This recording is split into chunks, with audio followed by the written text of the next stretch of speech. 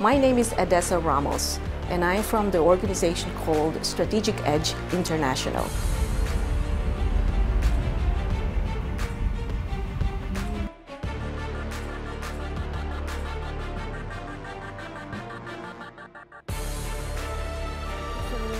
we're going this way to the village because the main road is blocked.